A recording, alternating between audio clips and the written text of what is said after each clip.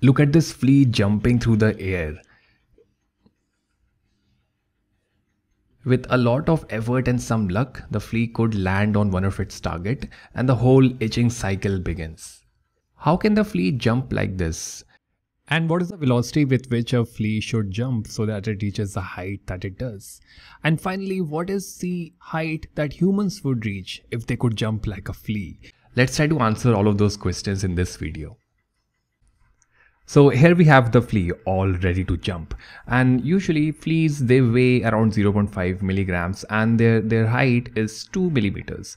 On an average a flea could reach a height of 30 centimeters when they jump. So let's say let's say that a flea is jumping from the ground. Here is a flea and it jumps and reaches reaches this height which we say is usually 30 centimeters. This is and let me write this in meters. This is 0.3 meters.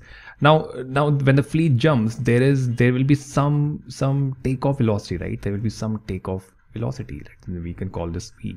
And at the highest point we can say that there is no velocity but it has reached a height so it has gained some gravitational potential energy. All of this initial kinetic energy is changed to gravitational potential energy and we can apply the conservation of energy principle. We can try and figure out the takeoff velocity from that. We are not considering any form of air resistance so we can write half mv square that is the initial kinetic energy equals to the gravitational potential energy and there is no kinetic energy at the highest point. So this is equal to mgh the good thing about this is that mass gets cancelled off. So m we don't have to deal with m. V square is equal to 2gh so v this is equal to under root of 2gh and when we work this out when we plug in values g and h g we can take as 10 h is 0.3 so this is really under root of 2 into 10 into 0.3 and this is this is 6 so under root of 6 is approximately 2.5 2.45 2.45 meters per second. So these are the takeoff velocities for fleas mostly. Now this might not seem much but let's try to understand this from the perspective of a flea. So a flea is only 2 millimeters tall and it can reach a height of 30 centimeters how would that look like in human terms? Let's say the height of some human that's uh, it's 2 meters. Let's say it is 2 meters.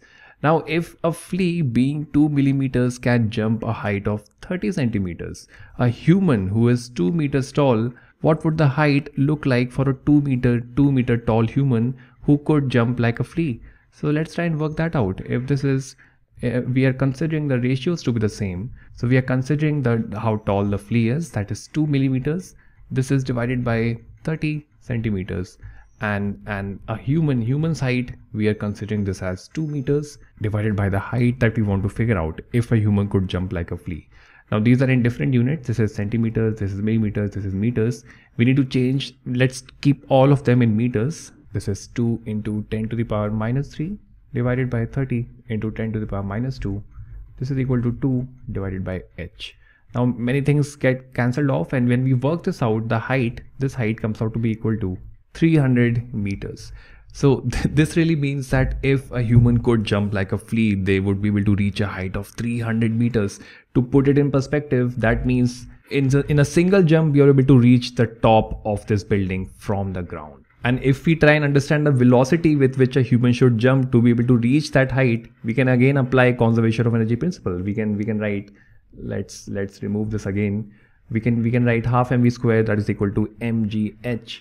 So that's really that's really half into mv square equals to mgh. Again m gets cancelled off and v is under root of 2gh but h here is 300 meters. So this is 2 into 10 into 300 so this is 20 into 300 under root of 6000 and this this is 77.4 meters per second.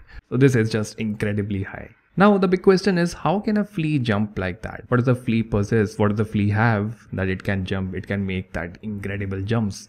So so it it comes to a kind of protein which is called resilin. Let me let me remove this. Let me remove this altogether it's a kind of protein which is called which is called resilin. And this protein makes the muscles very elastic kind of like how a spring would act. So if you have a spring and if you have a ball on top of a spring when you compress it when you compress it like this and then when you let it go the ball would reach incredible heights kind of like this. The ball lifts off and reaches great height. Similarly how a flea's legs act. When when a flea compresses its legs because of resilin the muscles act like springs. They store all of this all of this elastic energy. And when the flea takes off when it lifts off it kind of extends like a spring giving the flea some incredible speed so that it can reach a great height. And unfortunately we don't have that so we are nowhere close to how a flea could make a jump